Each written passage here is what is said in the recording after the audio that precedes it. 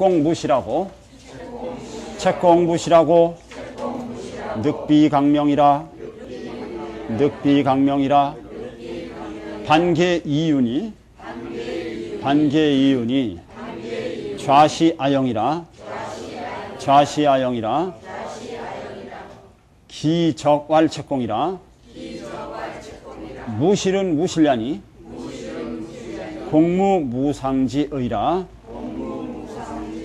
이기공렬로 늑지위비하고 각지 유명하니 대공신이 기여후이라 주문왕은 빙여상우 반계하고 은탕은 빙이윤우 신야야라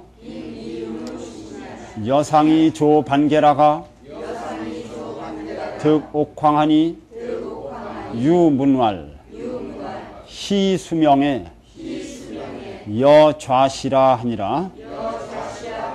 아형은 상재상지칭이라